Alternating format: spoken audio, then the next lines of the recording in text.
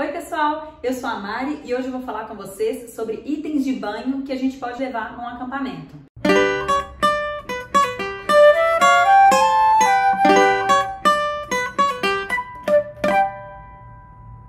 Dependendo da infraestrutura do lugar, a gente pode precisar de mais ou menos materiais. Mas tem uma lista básica de itens que é muito importante a gente sempre lembrar antes de sair de casa. Eu, particularmente, adoro listas, elas me ajudam a me organizar e não esquecer de nada.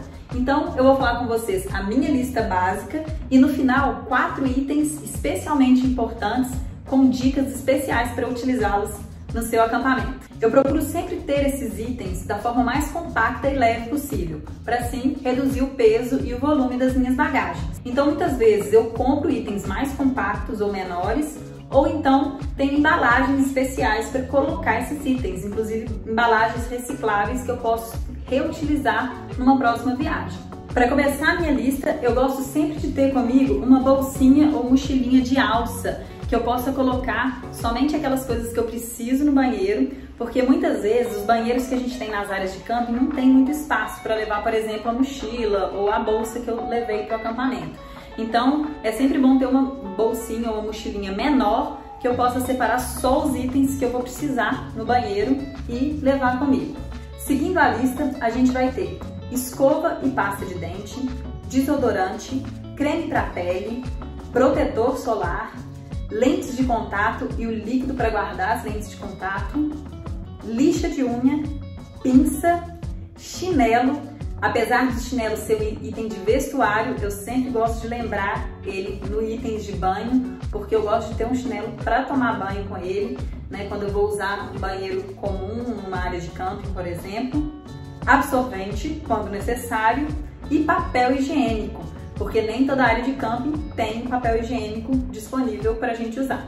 E agora os quatro últimos itens eu vou falar com aquela dica que eu prometi. Em primeiro lugar, o sabonete. Eu gosto sempre de usar sabonetes de enxofre, porque apesar deles não terem cheiro muito bom, eles são ótimos contra carrapatos. Então, é importante colocar, ensaboar o corpo inteiro, deixar uns minutinhos, de preferência com a água desligada, e depois enxaguar o corpo e tirar o sabonete. Assim a gente está protegendo e retirando aí um pouco dos carrapatos que a gente pode ter pego no mato. Em segundo lugar, shampoo e condicionador sólidos de barra. Já tem um tempo que eu tenho usado só eles, mesmo em casa, mas especialmente para camping eles são muito bons porque a gente não precisa de ficar preocupando com, com vidrinhos grandes ou pequenos, com líquido, se ele vai ficar deitado ou em pé na mala e correr o risco também de abrir né, e sujar a mala toda por ser líquido. O condicionador e shampoo de barra, eles são muito mais práticos. Eu tenho caixinhas sempre reutilizáveis, que eu coloco eles, que eu utilizo, e é muito mais prático para levar para o acampamento. Lembrando que dependendo do lugar que a gente for acampar, se não tiver é, banheiro e área de tratamento de água, se não for, não, não for um local que tem essa infraestrutura, o ideal é não utilizar nem, nenhum desses produtos, nem shampoo, condicionador, sabonete, quando a gente vai tomar banho no rio, para não poluir. O terceiro desses itens indispensáveis é a toalha mais compacta e que seca rápido. Essas toalhas a gente acha em algumas lojas especializadas. A minha, por exemplo, eu comprei na Decathlon e elas são muito boas, porque além delas serem muito compactas, elas secam muito mais rápido. Então, é uma toalha que eu sempre gosto de levar, porque ela é muito mais prática para utilizar e secar para reutilizar no dia seguinte. E por último, uma bolsinha com ganchinho.